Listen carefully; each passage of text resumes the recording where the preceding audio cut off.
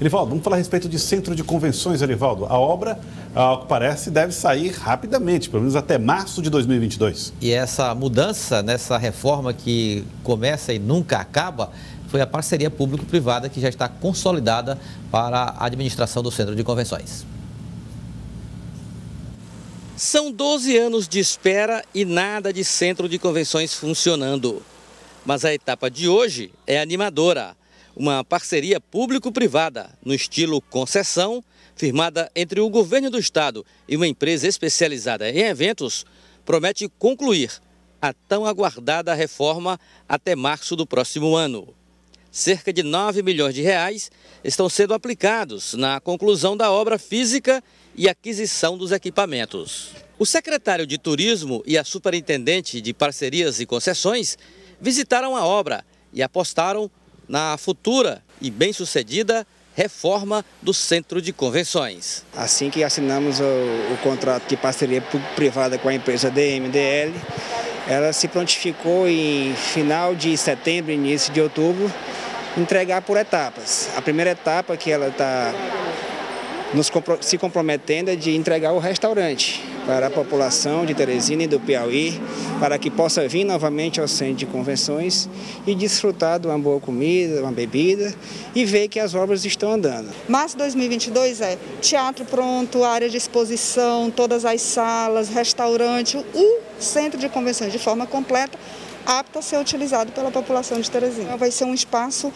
revitalizado, pronto para ser utilizado nessas várias frentes. Essa é a proposta. O secretário executivo da vencedora da PPP faz planos para o novo Centro de Convenções de Teresina. Nós temos uma nova realidade, né? uma pandemia que atacou o Brasil inteiro, né? os problemas aí, e a gente pretende voltar, se Deus quiser, fomentando todo tipo de evento aqui para o Piauí, até o final de março, para atendermos, estarmos funcionando 100% atendemos todos os segmentos voltados ao turismo. Com o Centro de Convenções de Teresina, o governo fecha 10 parcerias público-privadas.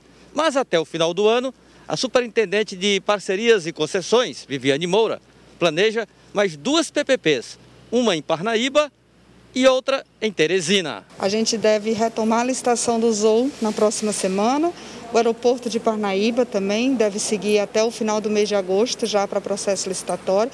E a gente tem alguns outros projetos é, que a gente está terminando a fase de estruturação de estudos para lançar para o mercado e também para apresentar para a população. É uma obra que já espera há muito tempo, alvo, resultado da burocracia que amarrou essa obra durante um tempo enorme. E, claro, os desrespeitos também feitos pelas, pelas empresas que assumiram as obras do, do centro de convenções, né, Lidia? Que, ao que parece agora, março de 22, pelo menos tem, um, pelo menos tem uma data. Finalmente tem uma data, né?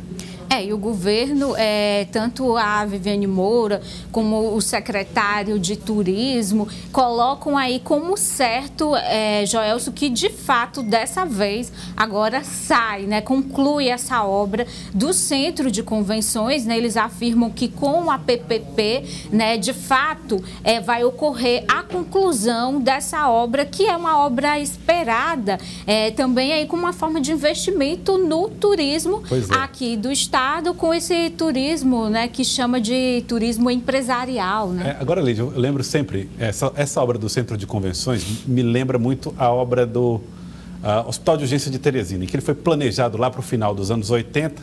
A obra veio, veio em meados de 2000. Quando foi concluída, a Teresina já era outra, com outra demanda. Então, essa do Centro de Convenções vai ter que atender a uma Teresina de 14 anos depois, Elivaldo, com mais eventos, com mais pessoas, com mais demanda. É Será verdade. que ela vai estar pronta para isso? Olha, Pelo menos a atualização dela vai ser mais prática. Né? Exatamente, até porque ela já teve uma modificação dentro dessa PPP, Joelson. É, ali tem o quê? Um auditório grande, né? maior para 600, né? 650 lugares. Não, tem... mais de mil. Olha, mil mais, mais de, mil, mil mais de mil. E tem os outros menores, salas menores, e tem dois espaços chamados pavilhões para fazer os eventos, feiras, Isso. porque é preciso que haja um aproveitamento integral para, inclusive, cumprir o objetivo da empresa, que está pagando caro pela, pelo tem equipamento. Faturar, né? né? Tem que faturar. Vai explorar durante 30 anos. Durante 30 anos tem que ter, ter resultado, tem que ter retorno financeiro para quando terminar o contrato, o contrato estabelece que volta aí para a estrutura administrativa do governo do Estado. O certo é que é um caminho, me parece agora, Joelson, sem volta, porque já foi consolidada a PPP. Então, é esperar realmente que o centro de convenções seja concluído e aberto à população, com restaurante, os auditórios é, abertos, é, condições de sediar grandes eventos em nossa cidade.